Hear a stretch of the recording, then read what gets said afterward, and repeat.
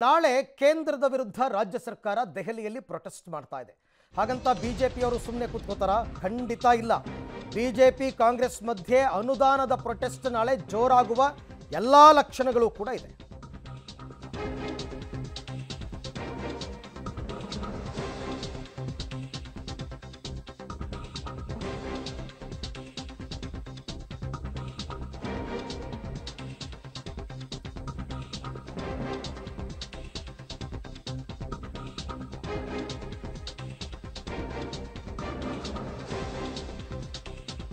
ದೆಹಲಿಯಲ್ಲಿ ಕಾಂಗ್ರೆಸ್, ಬಿಜೆಪಿ ಮಧ್ಯೆ ಅನುದಾನದ ಪ್ರೊಟೆಸ್ಟ್ ಆಗುತ್ತೆ. ನಾಳೆ ದೆಹಲಿಯಲ್ಲಿ ಮತ್ತು ಬೆಂಗಳೂರಿನಲ್ಲಿ ಏಟು ಎದುರೇಟು ಎರಡೂ ಕೂಡ ಇದೆ. ಅನುದಾನ ಕಡಿತ, ತೆರಿಗೆ ಹಂಚಿಕೆ ಬಗ್ಗೆ ಕಾಂಗ್ರೆಸ್ ಏನೋ ಚಾರ್ಜ್ ಶೀಟ್ ಬಿಡುಗಡೆ ಮಾಡ್ತು. ಕೇಂದ್ರದಿಂದಲೂ ಅಂಕಿಅಂಶ ರಿಲೀಸ್ ದಾಳ ಬಾಕಿ ಇದೆಯಾ ಹಾಗಾದರೆ? ಅವ್ರು ಸುಮ್ಮನೆ ಕೂತ್ಕೊಳ್ಳೋ ಹಾಗಿಲ್ವಲ್ಲ? ನಿರ್ಮಲಾ ಸೀತಾರಾಮನ್ ಅವ್ರು ಹೇಳಿಬಿಟ್ಟಿದ್ದಾರೆ, ಈಗಾಗಲೇ ನಾವು ಅನುದಾನ ಹಂಚಿಕೆಯಲ್ಲಿ ಯಾವುದೇ ತಾರತಮ್ಯ ಮಾಡಿಲ್ಲ ಅಂತ. ಹಾಗಾಗಿ ಅನುದಾನ ಪಟ್ಟಿ ರಿಲೀಸ್ ಮಾಡೋದಕ್ಕೆ ನಿರ್ಮಲಾ ಸೀತಾರಾಮನ್ಗೆ ರಾಜ್ಯ ನಾಯಕರು ಮನವಿ ಮಾಡಿಕೊಂಡಿದ್ದಾರೆ. ಈ ಏಟಿಗೆ ಎದುರೇಟು ಯಾರ ಕೈ ಮೇಲಾಗುತ್ತೆ?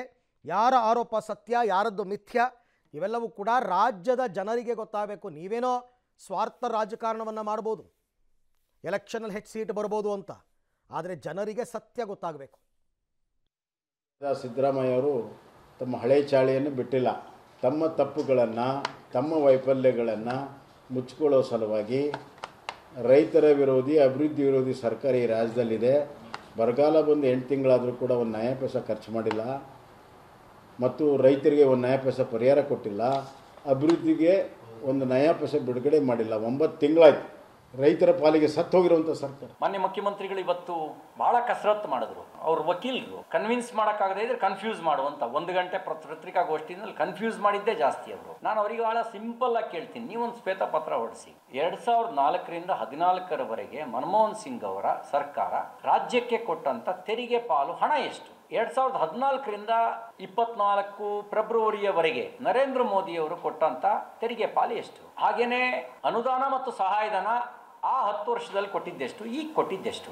ಮುಖ್ಯಮಂತ್ರಿ ಹೋಗಿ ಡೆಲ್ಲಿಲಿ ಧರಣಿ ಕೂರೋದು, ಒಬ್ಬ ಉಪಮುಖ್ಯಮಂತ್ರಿ ಹೋಗಿ ಧರಣಿ ಕೂರೋದು, ಇದು ನನಗೆ ಗೊತ್ತಿರೋ ಪ್ರಕಾರ ಇತ್ತೀಚೆಗೆ ನಡೆದಿಲ್ಲ ಅದು. ಆದರೆ ಕರ್ನಾಟಕ ರಾಜ್ಯದ ಮಾನವನ್ನ ಹರಾಜು ಮಾಡ್ತಾರೆ. ಯಾವ ರೀತಿ? ಇವರು ಇವತ್ತೇನಾದ್ರು ಕೂಡ ಶ್ವೇತಪತ್ರವನ್ನು ಹೊರಡಿಸಿ ಕರ್ನಾಟಕ ರಾಜ್ಯಕ್ಕೆ ಇಷ್ಟಿಷ್ಟು ಅನ್ಯಾಯ ಆಗಿದೆ ಅಂತ ಹೇಳಿದ್ರೆ ಮಾರನೇ ದಿನ ಕೇಂದ್ರ ಸರ್ಕಾರದಿಂದ ಉತ್ತರ ಬರುತ್ತೆ. ಶ್ರೀಮತಿ ನಿರ್ಮಲಾ ಸೀತಾರಾಮ್ ಅವರು ಅರ್ಥ ಸಚಿವರು ಉತ್ತರ ಕೊಡ್ತಾರೆ. ಏನೇನು ನಾವು ಕೊಟ್ಟಿದ್ದೇವೆ, ಏನೇನು ಸಿದ್ದರಾಮಯ್ಯನವರು ಮುಖ್ಯಮಂತ್ರಿಗಳು ಸುಳ್ಳು ಹೇಳಿದ್ದಾರೆ, ಇದು ಸ್ಪಷ್ಟವಾಗಿ ಅಲ್ಲಿಂದ ಉತ್ತರ ಕೊಟ್ಟು ಕರ್ನಾಟಕ ರಾಜ್ಯದ ಮಾನವನ್ನು ಹರಾಜು ಮಾಡ್ತಾರೆ. ಯಾವ ಕಾರಣಕ್ಕೂ ಕೂಡ ಇವರು ಏಳನೇ ತಾರೀಕು ಧರಣಿ ಕೂರಕ್ಕಿಂತ ಮುಂಚೆ ಇವರು ಶ್ವೇತಪತ್ರ ಹೊರಡಿಸ್ಲಿ. ಇದು ನನ್ನ ಒತ್ತಾಯ. ನೋಡೋಣ, ಮಾಡ್ತಾರೋ ಬಿಡ್ತಾರೋ ನನಗೆ ಅನುಮಾನ.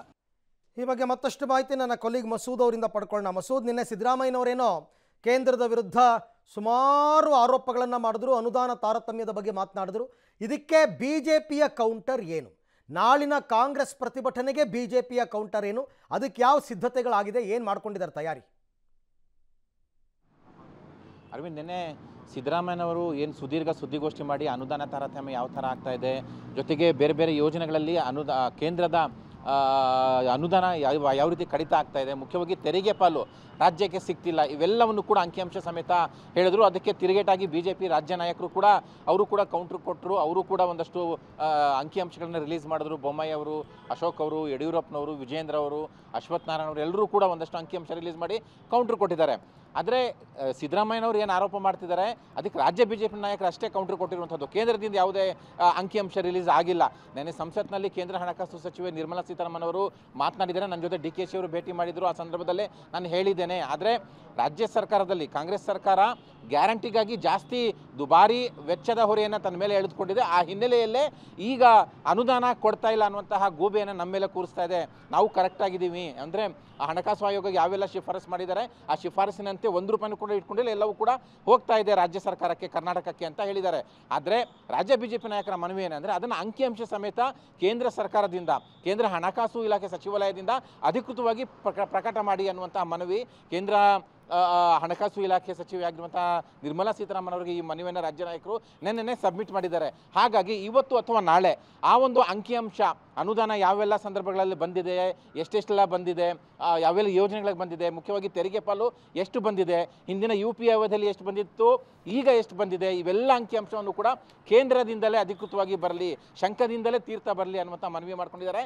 ಇವತ್ತು ನಾಳೆ ಬರುತ್ತಾ ಅಂಕಿಅಂಶ ಕೇಂದ್ರದಿಂದ ಅಂತ ಕಾದು ನೋಡಲಾಗ್ತಾ ಇದೆ. ಅರವಿಂದ್. ಹಾಗೆ ಸಂಪರ್ಕದಲ್ಲಿರಿ ಮಸೂದ್, ಮತ್ತೆ ನಿಮ್ಮನ್ನು ನಾನು ಮಾತನಾಡಿಸ್ತೀನಿ.